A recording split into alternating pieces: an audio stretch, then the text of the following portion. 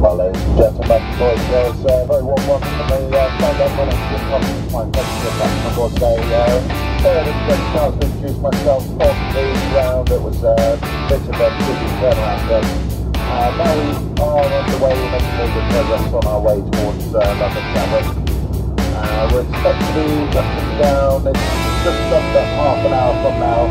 Uh, should have you on the ground just after 9pm local. If you want to check what the time in the UK is, of course, one hour behind French time. Uh, so it's uh, coming up on 25 to 9 there now. Uh, it's been very calm, stable conditions in Gatwick, much the same as it has been in uh, Paris today. There's a bit of a north-easterly breeze blowing, but not too much cloud around, and the temperature a very close to 21 degrees Celsius. That's it from us at the flight deck. Uh, do hope you enjoyed this service with us today on this short flight. Thank you very much baru dibuat